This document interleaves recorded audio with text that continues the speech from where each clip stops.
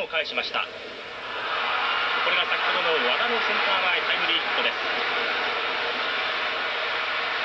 そしてファーストランナー松永も好走塁です。なおチャンスが続きます。タイガース。得点は4対2スワローズのリード。2点です。この試合さてタオさん、はい、タイガースが反撃ムード。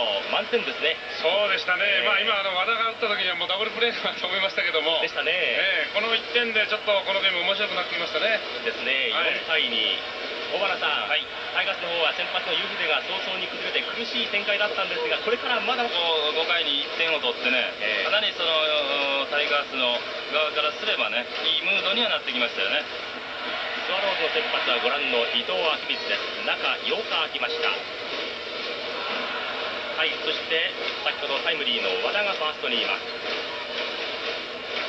3番の八木です。このところ6試合連続で3番に座っております。今シーズンは腰痛になりました。しかしようやく本調子間近の八木です。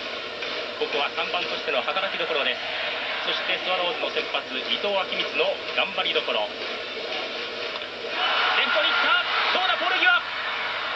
出ましたファウルボール。ベンチの中村君です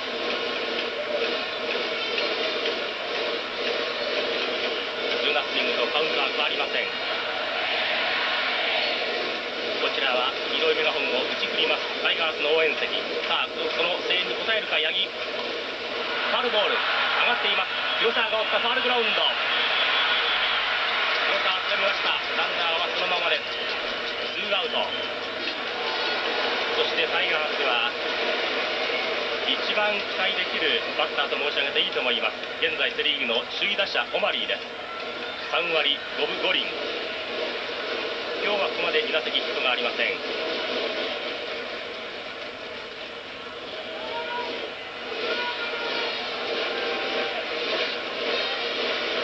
松永取ります長藤古田のバッテリー初球は低めに。予想してると思うんですよ、はい、だからその逆に、えー、バッテリーがフォークを見せ球にしてアウトコースのストレートこういうものでね抑えようとしてるはずなんですよね。2球目ファールボール。とにかくこのオーマリーはあ得点圏打率3割6分、まあ、スワローズのハドラーには及びませんがなかなかの高得点圏打率と言えます。ワンエンドワンです。三塁と一塁にランナーがいます3球目。伊藤。一二塁間。ハドラーがいいところにいた。スリーアウト。ハドラーがいいところですがまず最